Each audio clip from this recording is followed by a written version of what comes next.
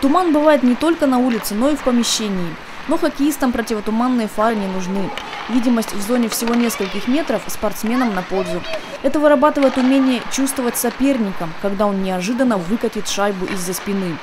Туман в куполе возникает из-за разницы температур и только когда на улице за плюс 25. То, что сейчас вы видите, вот здесь вот туман, это как раз связано с тем, что на улице сейчас резко повышается температура, а здесь еще пока вот в этом уровне она держится. Поэтому если мы сейчас откроем наши, так скажем, створки и выгоним этот туман, то здесь очень резко льду станет жарко.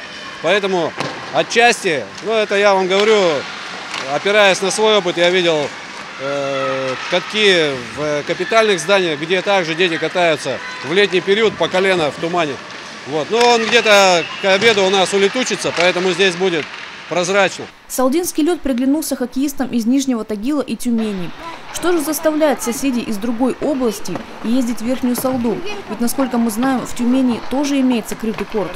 Ситуация такая, что у нас сейчас идет специально подготовительный этап. То есть ребята должны находиться вдалеке от дома. Ну и, соответственно, как бы условия, там, питания, проживания, это немаловажный фактор.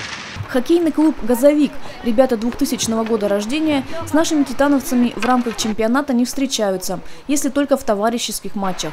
Команда играет на Россию с такими сильными соперниками, как Акбарс и ЦСКА. Проводить тренировки в Верхней Салде как-то роднее. Ведь я и сам родом из Салды, признается тренер Олег Таубер, выражая благодарность корпорации за появление этого спортивного объекта. Кстати, иногородние, бывая в Салде и видя наш белый купол впервые, поначалу удивляются, думая, что это какая-то секретная лаборатория. Но ничего секретного здесь нет. Лед обслуживают сотрудники спортклуба «Старт». Холодильное оборудование работает в режиме автомат.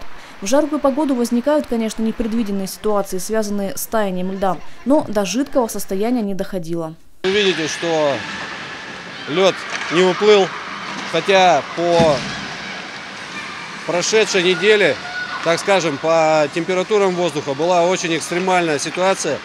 Значит, у нас были периоды, когда лед просто плакал здесь и катались по воде. Значит, были ситуации сбоя оборудования, которые приходилось решать и вызывать э, сервисные службы. Можно сказать, что в свое первое лето искусственный лед на стадионе «Старт» ни разу не всплакнул. Ну, пролил пару слезинок. Они только добавили бдительности и опыта нашему обслуживающему персоналу.